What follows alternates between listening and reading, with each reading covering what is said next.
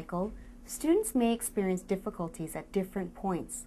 Ongoing assessment assists teachers in identifying points where interventions are necessary.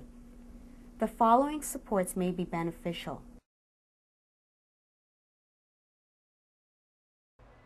Bad idea? Yeah.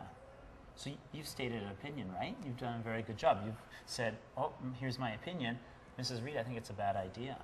Okay. Another part of this knowledge piece, though, is also that we have to know to write what type of genre, A letter? a letter, right? So what can you show me as well? What have you done that that shows that you know that you wrote a letter correctly? Uh, uh, greeting, Okay, you have a date, greeting. and paragraphs.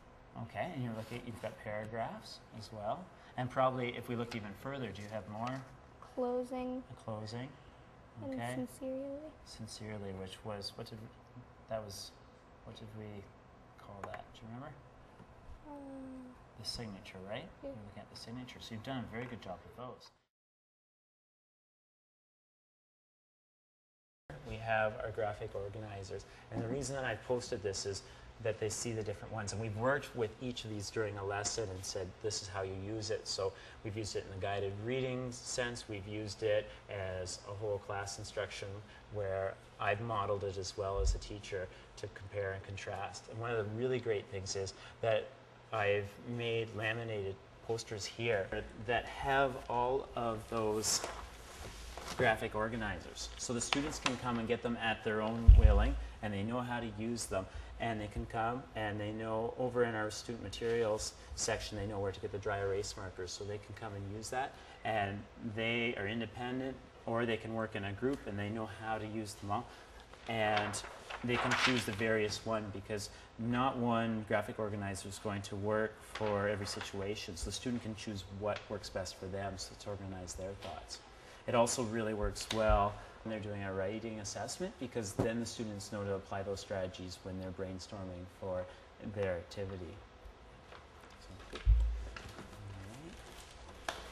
One of the great things about those graphic organizers is we can use them cross curricular. So I can use them for science or I can use them in my language class. Uh, a lot of times, a lot of the literature and the texts that we're using are already in social studies. So if we have that graphic organizer up, then we can stick that up on the wall. And when we come and revisit that, we can use that in our lessons in social studies, for example, or once again, refer back to it in science.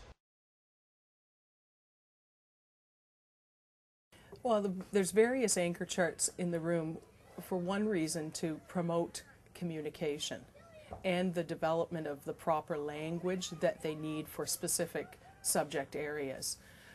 Um, in terms of writing, which we were working on today, we've got a couple of anchor charts that are being developed that show the features that are required for certain types of writing. Well, those are there for them to be able to refer to, to remember and use the ideas that we've learned from our mentor text and be able to apply them themselves. All of the, the sentence strips that are posted in the classroom are giving the, the child who said that is given credit. It not only gives them ownership, it shows it shows their contribution. We value their thinking, their understanding, and it's there as a helpful resource forevermore. If it's up on the wall, it's there for a reason. If it's up on the wall, it's been developed and we've learned before it went on the wall. If you came into my classroom in September, all of these bulletin boards would be blank.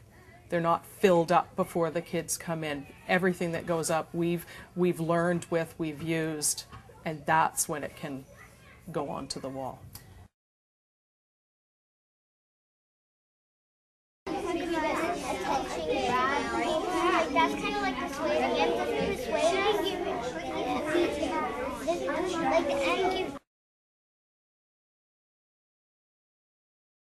What I want to do today is to look at your writing piece here, okay? This was our persuasive piece that you had to write an opinion. Do you remember what you were writing about the other Uh, day? school uniforms. Right. So we, you had to choose a position either for or against, okay? And we're looking at the knowledge and understanding category of your learning. So if you think back to the rubric that we have on the back of our wall, that's making sure that you have deep understandings of everything that needs to be in that text form, okay? So do you want to look through here and maybe we could read over your your story. Do you want to read it out loud? And then, if you see something that you did well in the knowledge category, do you want to highlight that and show me that you know that that would fit into the knowledge category? That's something we'd see in the persuasive text form. So just read it out loud. Yeah, just go ahead and read it. Dear Mrs. Reed, I think that school uniforms would be a bad idea, and here are some reasons why.